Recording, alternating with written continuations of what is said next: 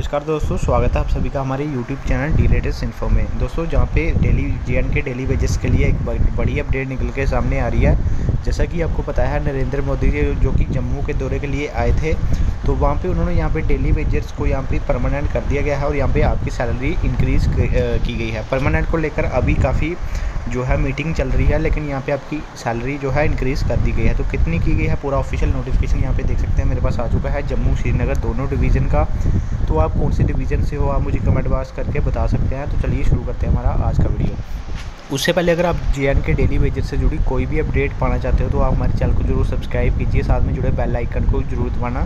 सबसे पहले नोटिफिकेशन के लिए। तो यहाँ पे देख सकते हैं कि सबसे पहले जो आपकी सैलरी थी twenty two to twenty five per day आपको मिलती थी। यानी कि यहाँ पे देख सकते हैं अब आपकी यहाँ पे तीन सौ कर दी गई है।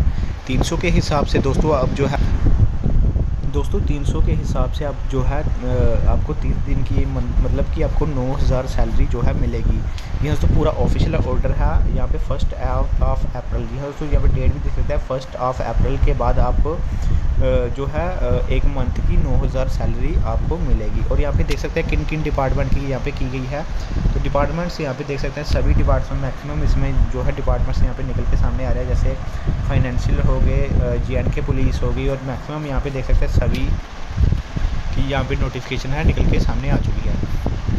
तो दोस्तों, बस ये था हमारा आज का वीडियो मिलते हैं नेक्स्ट वीडियो में न्यू अपडेट के साथ।